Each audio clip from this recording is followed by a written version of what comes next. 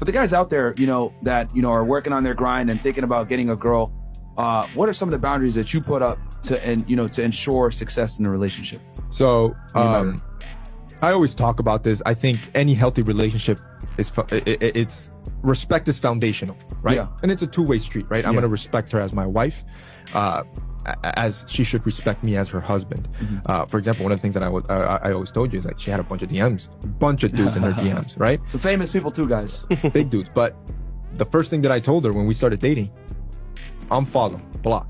I don't I don't want I don't want you following guys without hesitation. Mm, Okay. Tra. With like, uh, you don't see that. you don't find that. this girl is so like, But why? Huh? I, Oh, I thought you were- I can't have friends. Yeah. Yeah. Hold on, Yeah. you're controlling. Yeah. You're insecure. But Misogyny. oh, another thing. By the way, my girl is built perfectly, bro. She's beautiful. She has a body on her.